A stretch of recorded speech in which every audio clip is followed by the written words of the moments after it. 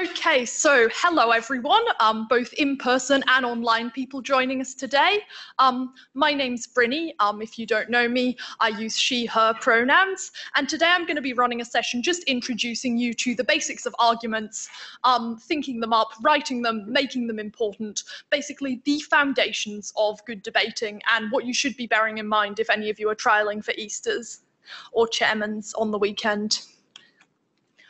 Okay, so the first thing that you want to do is obviously come up with arguments. So if any of you debated last week, you'll be familiar with this. Um, you want to start prep time by brainstorming everything you can think of. Don't stress if your arguments are not amazing. Just try and get something written down. Um, and before you get into arguments, please make sure you're clear on the broad meaning of the topic and what side you're doing. It may sound really simple, but I did a topic at a mini recently um, where there was like a triple negative in the topic. Um, it was really confusing, and my team spent like 10 minutes trying to work out what we were arguing as the negative team. Um, would not recommend.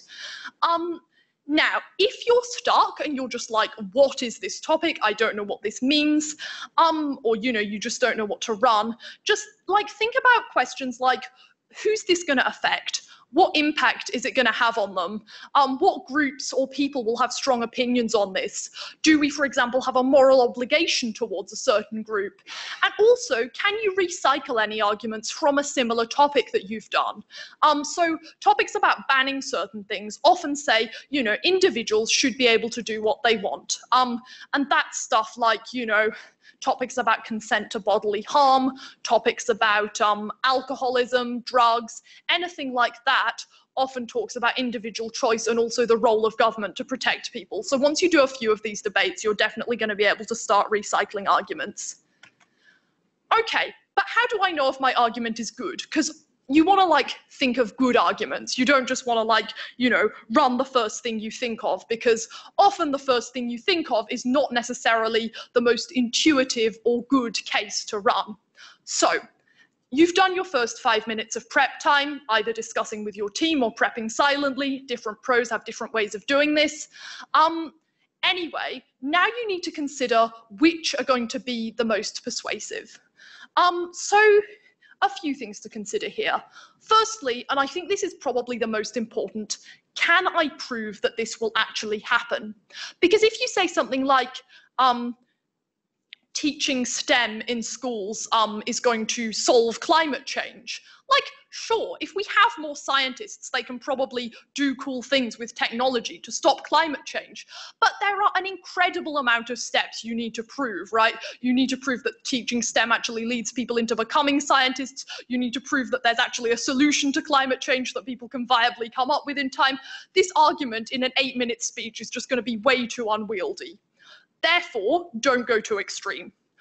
The other thing you can think about, does this policy address the root cause of the issue? Or are there other things contributing to the issue? So your policy probably isn't going to make um, that big a difference. Um, the other thing is like how many people or stakeholders does this argument impact? And this goes into making your arguments important. Um, so this looks like thing another way you can like make this important is talking about like how big deep severe is the harm or benefit.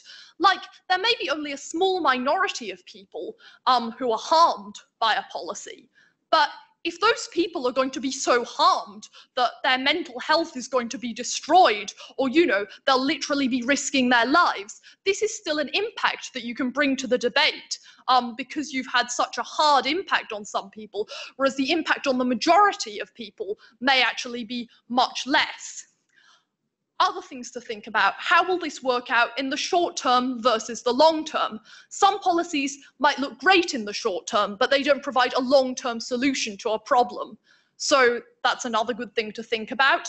And finally, another really important one, does it directly clash with the opposition team's likely case? Because if so, your rebuttals will be better and you'll be able to integrate your rebuttals. So instead of just saying your rebuttals at the start of your speech, you're going to be able to tie in your rebuttals to your first, second, or third argument, which is just going to make your speech flow a lot better and just make it a lot easier for you to impact your points, I guess. Um, so for example, going back to my example about banning debates, if you run a point about individual choice to say we should not ban a particular thing, that is going to directly clash um, with the opposition's case about it is the role of the government to regulate individuals' choices and stop them from making bad choices. You can see how those arguments are basically two sides of the same coin. Okay, common issues to avoid, and some of this is based on what I saw in the debate that I adjudicated last week. So trying to prove high impacts with low impact policies. The STEM example I used before is probably a really good example of this, but another one is like more media diversity will solve racism. Obviously not, right? Like neither team in any debate is going to be able to solve the issue of racism. That is just like way too big an impact. But more media diversity might make people more open minded. It might have a good impact in terms of empowering a particular minority group um, to think that they can do things or enter certain spaces. Another thing, relying on a specific or extreme example where a particular policy or actor turned out to be bad or good. Um, I can't think of an example right now, um, but if your case is basically reliant on one example, for example, I remember I did a debate about whether we should oppose feminist icons. And I talked about Germaine Greer, who is an Australian feminist who's recently said some things which are quite transphobic. Um, and obviously, that's an example of a feminist icon being incredibly bad because she has all this media airtime to say these transphobic things. However, not all feminist icons are transphobic, and I was not able to prove the impact because the debate was about feminist icons generally. Germaine Greer bad does not mean feminist icons bad, is basically what I'm saying here. Another thing, relying on things which are intuitively good or bad. For example, I think most people here would say, we live in a democracy, so democracy must be cool, right? Your adj is a lot more objective than this. Um, so you need to prove to your adj why something is going to be specifically good or important, even if it seems obvious, even if you're just like, of course individuals should be able to make choices for themselves. Of course this particular group being ostracized is bad. You always need to tell the adj why, because your adj will approach the debate from the most objective perspective possible. Um, your adj is just cold, calculating, analytical, um, tell them why they should care, basically. Um, relying on a very niche or minority stakeholder, um, you know, this will have a terrible impact. Um, I don't know, like if it was a debate about cosmetic surgery, um, if you could talk about like, this will have a terrible impact on people who want to change their bodies to look particularly weird and that's their way of self-expression. Obviously, this is a very small minority of people. They're not the main point of this debate, even if there is an impact on them. Finally, um, assuming that a particular policy is automatically good or bad for a certain group without saying what the harms and benefits are. Um, yeah, please come in. Just running a session about arguments. Um, so, um, this looks like saying things like, well, of course, more media diversity is good for people of color. Like, yes, it probably is, but you need to tell us why.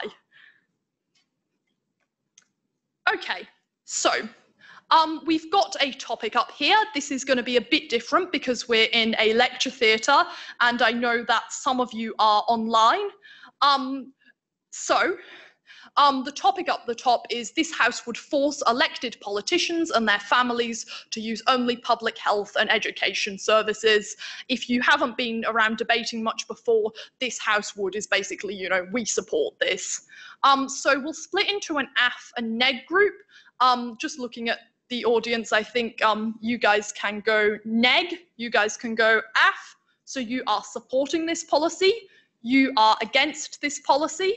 Um, Anyway, so we're going to take about, I'm just looking at the time, yep, three minutes is probably good. And I want you to think about the most important points, which stakeholders are affected on your side, what are going to be your most important harms and benefits. So don't worry if you don't come up with too many points. This isn't a full brainstorm. Um, it's basically just like seeing if you can think up any points. Uh, we might not take the full three minutes.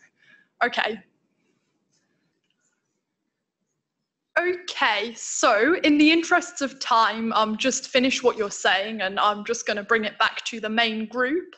Um, so, first of all, would someone on the affirmative team uh, want to tell me what their one or two most important arguments were? Um, we spoke about credibility and um, if politicians are using public services, um, I guess it strengthens the public view on public services and like I guess it could um, make people more inclined to use public services instead of private. Trust in the system. Yeah, okay, so I'm not sure how well people can hear that, um, but someone's just talked about credibility and increasing trust in public services. Um, so, and, you know, inclining people to use them more than private services. I think that's a really good point. Um, again, you'd have to say, like, why it's important, but yeah, great start. Um, someone from negative. Um, just like tell me one of your important arguments. Don't worry about rebuttals at this point. Sure, well, we're promoting public services to politicians that force them to do it. And then, then it's sort of superficial engagement. in public policy. Yeah, yeah. Um, Group Neg just brought up superficial engagement with public policy. So yeah, like there's a lot of examples. Like I can think of like Boris Johnson, for example, praising the National Health Service in the UK and then actually like defunding it and not actually caring about it. Um, so yeah, it's definitely a superficial level of engagement and could be seen as performative. Um, someone from Affirmative want to give me another argument? Again, no stress about rebuttals. Um, so, uh, I think our main point was probably that due to the fact that these people are the ones that are making a lot of the decisions around public health and education services, this would incentivize them to create, um, very, um, uh, good word that's very efficient, effective, and probably well-funded public health and education services, which would in turn benefit the rest of the public. So it's essentially going to, um, shuttle the resources into areas that are and make sure that this is important to their attention. Yeah, definitely. So Group F has just hit on what I think is probably the most important point in this debate, which is making sure that public services are efficient by incentivizing politicians to invest in them because they are the ones using these services. Um, someone from Negative want to bring me a final point? Um, we talked about how politicians and their families should have the freedom to choose where exactly they spend their money and where exactly they get their health and education. Yeah, I think freedom to choose is an important one. I think this probably especially applies in countries where there are religious hospitals and schools and there are politicians from certain religious groups. I think you can definitely bring in that there. Um, for reference, I think the neg side in this debate is slightly harder to argue, but you do get unbalanced motions sometimes. And um, yeah, it would just be about explaining why that specifically is more important and then trying to mitigate some of affirmatives material about why this improves public services. Like maybe it only improves public services in certain areas where elected politicians live um, and some areas are still left behind. I don't know. Like there's lots of ways to argue this, but great brainstorm, guys. Okay, so now moving on to writing your argument. Now, important disclaimer before I get into this. Um, obviously different debaters have different styles. We've got a lot of people presenting sessions tonight, and I think they all kind of altered this bit to suit what they like to do. This is what I like to rely on. I find it's quite an intuitive structure, but if you find something that works better for you, or you know, you get a pro who does something different, um, obviously don't disregard what they say in favor of this. So, firstly, and I think this is important, just like short statement of your argument. So, why this incentivizes politicians to improve healthcare and education. Um, this is important, especially at the start of your speech, when you say, you know, three main points in my speech today. Firstly, why this incentivizes blah, blah, blah. Um, it's just way easier for your adjudicator to follow when you have a short statement of your argument. It can be a question, um, it can be a few words. People like to phrase them in different ways, but please have titles for your arguments. It gets very confusing otherwise. Secondly, what does this look like? Examples can be helpful. Now, I already warned you against arguing by example um, for example, in my failure to prove the impact of Germaine Greer in the feminism debate. But obviously, like in a lot of scenarios, um, you do need to define um, what a particular policy is going to look like. It's not the same as defining the topic like you do at the start of a high school debate, but you know, um, I think you could say, um, for example, if, and I think this motion was used last week, uh, this house this house would um, ban drugs. Um, if you if you were the negative team and you were talking about how this actually makes drugs more dangerous, you could be like, this looks like people not wanting to go to hospital when they've overdosed. This looks like addicts being stigmatized and being more unwilling to seek help because they are seen as criminals just stuff along these lines, just so your adjudicator knows where you're going with something um, and just has a clear picture of it. Because if you're just like, this makes drugs more dangerous, I'm kind of just like, why? How does it make drugs more dangerous? Give me more information. Um, okay, thirdly, and this is super important, why is this true or likely? So I think a very common piece of feedback you will get in your first debates is an adjudicator being like, yeah, you know, you told me that the feminist movement wants to get more women on board with it, but you didn't really tell me why it was true. Why, why was it so important for them to get more women on board with their movement? Why was this more important than catering to minority women, for example? Um, I'm just using examples from a whole range of different topics to reflect the diversity of topics that we do at MAD. Um, so you need to explain why is this true or, you know, why is this likely to happen? What what is it about forcing politicians to use these services that makes politicians you know likely to um Im- improve them? Like is it because you know when they see the worst of it it shocks them into doing it? Uh, is it you know just because they want nice things for their families? Um, is it because it allows them to interact with professionals in these areas teachers healthcare providers and this means that they can cater better to the people on the ground because they're talking to them about their needs all of these can be valid reasons about why that argument's true, but you really need to step it out for your adjudicator because your adjudicator is not going to fill in the blanks for you. Fourthly, why is this important and why should we care about this? I'm not doing a session on weighing, if any of you know what that is. I'm not sure how experienced um, a debater everyone in this room and online is. Um, but this definitely comes into weighing. Um, and I think it's good to be comparative on this. Why is this important point? Um, and what I mean by being comparative is, you know, why is our point about individual choice more important than the other team's point about the role of government to regulate people's choices, you know, and this comes back to what I was saying before. Is it because the harm is greater on their side? Is it because our policy impacts more people and benefits more people, even if this benefit is shallower? Um, is it because we owe a moral obligation to this certain group and therefore it's more important?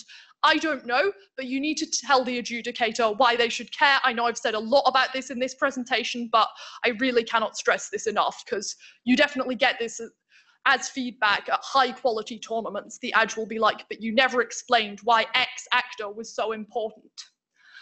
Okay, and finally, and this is also known as impacting, what is the outcome or endpoint of this argument? So, for example, you could say, at the end of this argument, you have more women on board with the feminist movement, you have more women campaigning for feminist causes, you have more women empowered to speak up for themselves in the workplace, whatever. Um, but you need to explain to me what your argumentation is actually leading to. What is the impact? Because you can give me lots of reasons why a particular policy is great or why a particular actor should do things. But unless you tell me what the end point of this argument is, what the outcome is, I guess it just finishes off your argument um, and tells me, you know, why I should back it as an adjudicator. Okay, so using the example of why this incentivizes politicians to improve healthcare and education, which I think the affirmative team uh, slash group very correctly came up with, um, go through the four steps, I've sort of given you the title on the previous slide, and try to come up with an argument. I'm happy for you to do this in small groups pairs, whatever. Please make sure that everyone has someone to talk to. Um, anyway, so I want you to go through what does this look like? Why is this true? why is this important and what is the outcome? I guess I've given you some clues, but I'm sure that you can like structure it um, better than I did in my sort of rough presentation. Um, okay, so I'm hoping everyone's clear on what we're doing. Obviously, like shout out if you have any questions. Um, I'll give you the next three minutes maybe, then we'll share back and then I'll do questions at the end if we have time. Just like bring your discussions to an end if you can. Don't worry if you didn't finish. It takes a while to come up with a good argument. Um, hope you haven't been too distracted by the arrival of pizza. I know it's very exciting. Okay, so um, first of all, maybe someone from this side of the room. Um, could you just tell us a bit about like how how you went through maybe like the first couple of steps with this argument? What were your thoughts? Yeah.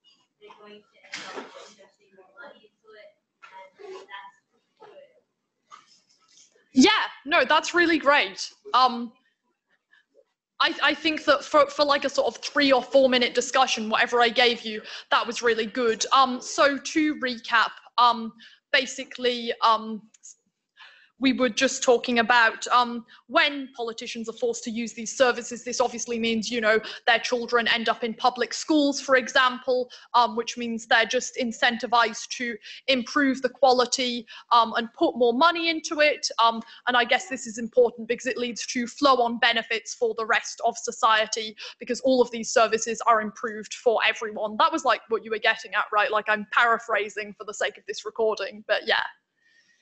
Awesome. Um, did anyone sort of have anything different on this side of the room? And it doesn't matter if it's only slightly different. I'm just interested to hear ideas. Honestly, um, I guess the other thing that we have is the wider thinking about what, what happens and like you Yeah. And how we say moral vision. How they, how, the sacrifices they Yeah, and I really like that numbers weighting, i.e., 100 politicians having to make probably small sacrifices in their personal lives, right? Like going to a public hospital in this country doesn't mean you're going to die. Um, so, versus, you know, um, a million Australians having access to better services, I think that's a really good way to put it in terms of a numbers game and also like the principle over the practical. Like, sure, maybe we care about individual choice usually, but do we care about the principle of individual choice more than we care about you know, everyday people's lives and access to public services. Um, I think that's a really clever way of weighting it. So yeah, great.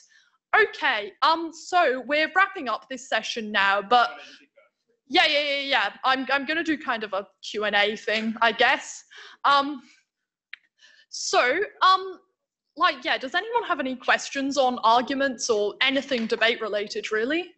Yes. Um, earlier you said that if we had an argument that very much has to be really, like, case that we could bring the politics down. Does that mean we shouldn't, like, spend time start?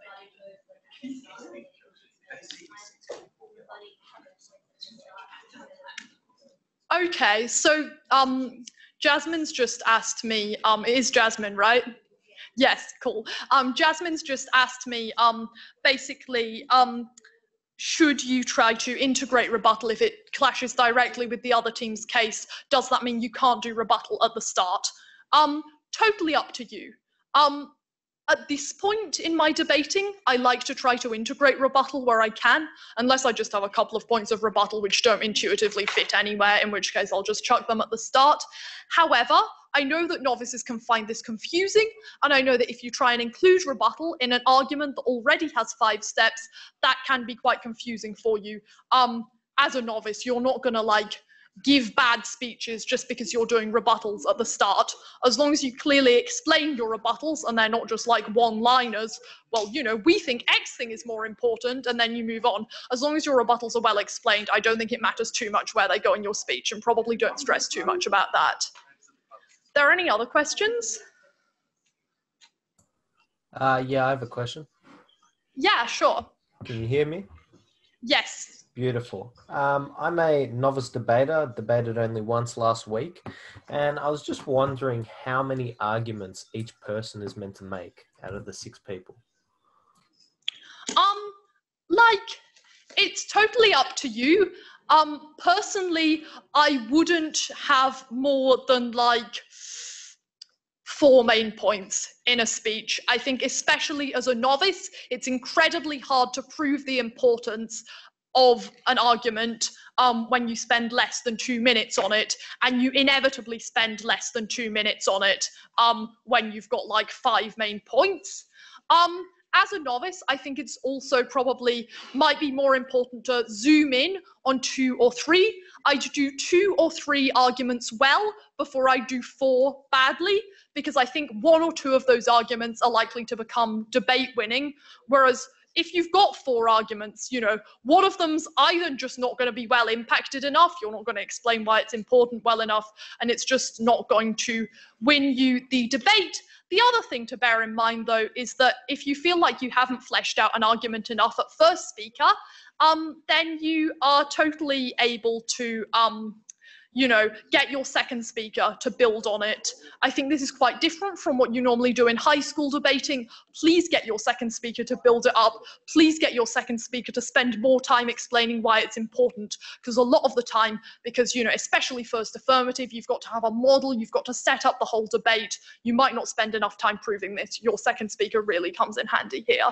Um, so yeah, does that answer your question? Uh, it does partly. So you have your first and second doing about three to four points each, ideally. Then your third will do uh, make no new points and just have rebuttals and conclusions. Um, yeah. So I think I probably need to be clearer. I I'd aim for about. I wouldn't aim for four points. I'd aim for three at first and second as a very rough guideline bearing in mind that every debate is different. And third speaker, third speaker, I like to separate the debate into main clashes, but you're absolutely right. Don't bring new arguments at third speaker. You can't do that. Um, yeah, so basically at third, um, you want to separate the debate into sort of three main clashes, sometimes two, and just explain how your arguments clashed with the other team and why your material and arguments are specifically more important. Um, does that make sense? Uh, yes, it does. Beautiful. Thank you. Okay, great. Glad I could help. Um, yeah, just in like, can I keep going with this? Are we wrapping this up? Cool. Any more questions about debating? Yes. Um, I was wondering about this might take a little bit more time to answer, but um, I've always avoided the nature of humanity. You was kind of about that. How would you, I guess, justify and explain the nature of humanity? Could you explain a bit more about what you mean by the nature of humanity, just so I'm clear? There's a lot of times in a debate, someone will be like, um, it is the nature of, like, it is human nature to be selfish. It is Yeah. human nature to do X, Y. Yeah, And it's always, it always gets a bit yeah. It's a difficult one to like, justify fully, even if it's sort of innate. So I was wondering how you would like phrase the whole structure. I would usually, like, obviously, this is a big point which I would probably have to spend some time thinking about. I'd probably steer away from making broad generalizations about human nature, because if you can bring up a few examples about how humans are selfish, your opposition can almost certainly bring up examples about, you know, where humans are kind. However, I think what you were saying was probably a bit more interesting than that, which is like, why politicians or why humans in certain situations become selfish. And I think this is where you get to talk about incentives. So, why are politicians incentivized to be selfish? Um, I think you know you can talk about the toxic um, culture in a lot of parliaments. You know, I think with recent revelations in the media, it's been revealed as a very sort of toxic macho culture. I think you can talk about people being power hungry. I think you can talk about the kind of people who survive in politics are likely to be people from privileged backgrounds um, who are motivated by monetary gain. Um, yeah, so I guess just talking about like the incentives available to people, you know, does a politician, for example, know that they will get votes anyway because they're able to enact sort of populist policies without making any real change, therefore they're not incentivized to help people. Just stuff like that. So just think about, I guess, what motivates an actor? What drives them? What do they really want? Does that make sense?